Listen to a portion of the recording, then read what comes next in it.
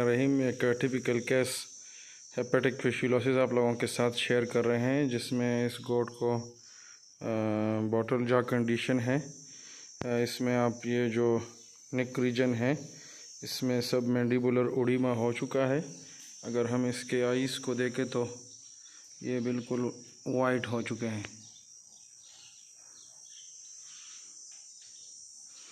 इसके साथ साथ जो इसका, इसकी जो रूमन है, वो बिल्कुल स्टक हो चुकी है और ये जो है एक्सटर्नल रिकम्बेंसी पे है और कड़ी भी नहीं हो सकती है। लीवर इसका डैमेज हो चुका है। तो तमाम फार्मर से यही गुजारिश है कि जब इस तरह की जो कंडीशन आप लोगों को सामने आए तो बर वक्त उसका इलाज करवाएँ और ताकि आपके कीमती जानवर ज़ाय होने से बच जाए।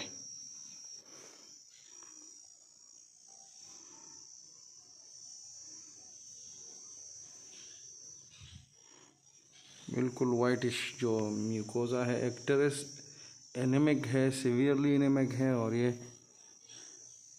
चलने फिरने से कासर है। Thank you so much